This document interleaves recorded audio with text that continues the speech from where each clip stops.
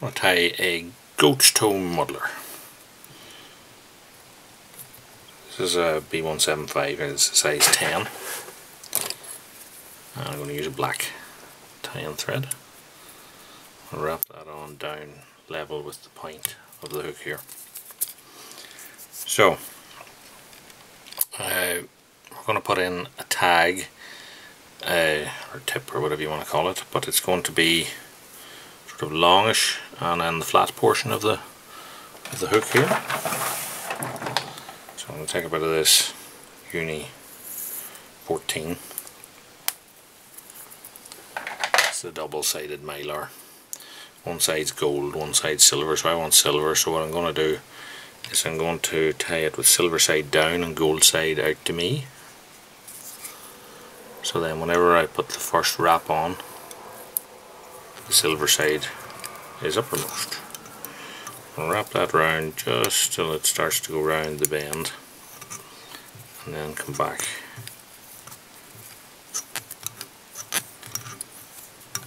On itself. Now this has been made much bigger than what we actually require it but don't worry about that because the body is going to cover that. So for our tail we're going to use uh, golden pheasant skin we're going to use one of these yellow feathers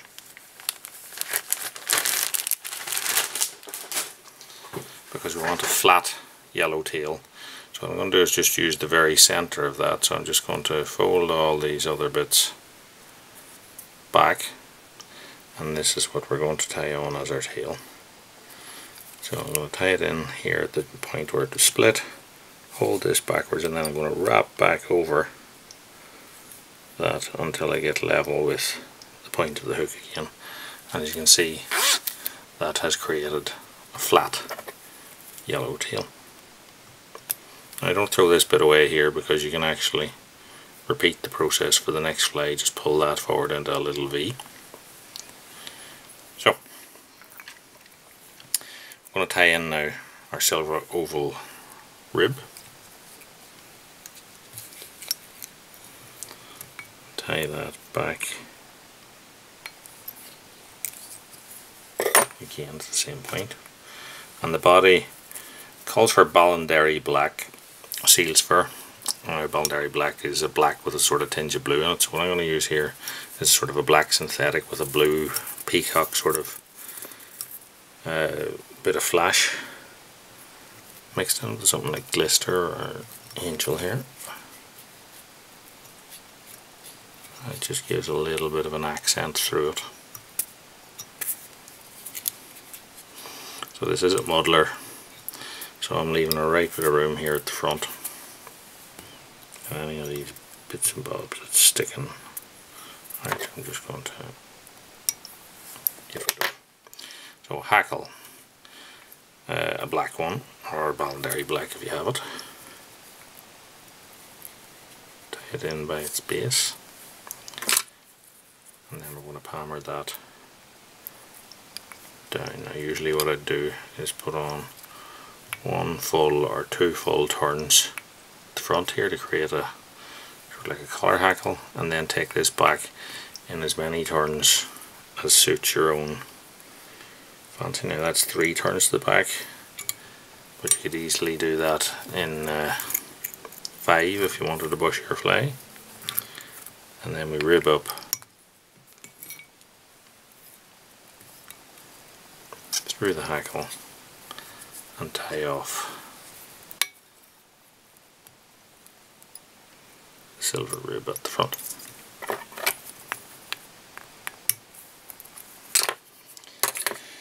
Now we're going to put on an unusual sort of hackle. This is a peacock hackle now. I happen to have a peacock skin so I can get small hackles off it but if you're just buying a pack of peacock they'll generally be quite big in which case what you'd want to do is pull off some fibres and tie them in as like a fake hackle. So here I'm going to tie this one in by its base because this sort of feather tends to wrap better and behave better tied in by the base than by a double tip.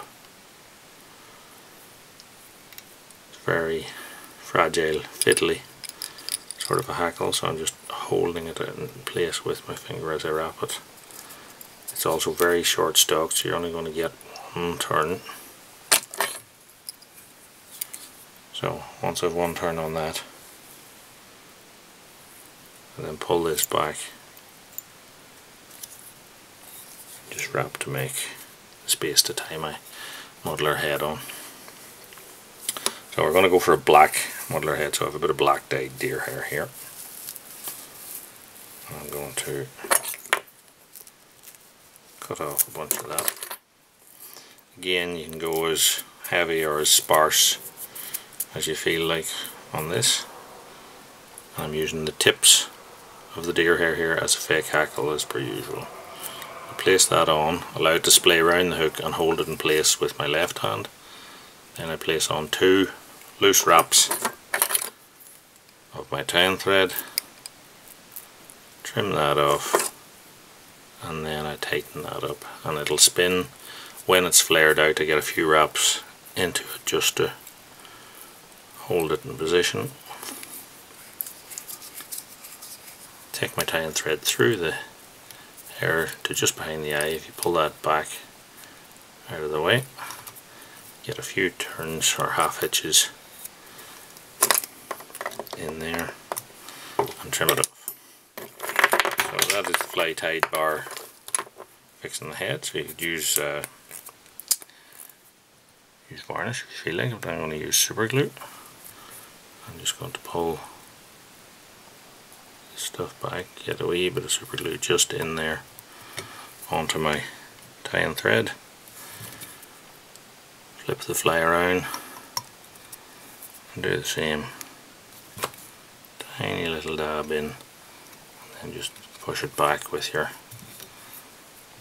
thumb. And that'll form your head for you. And that is our fly finished. A goat's toe muddler and that peacock blue in it a lovely subdued sort of iridescence to it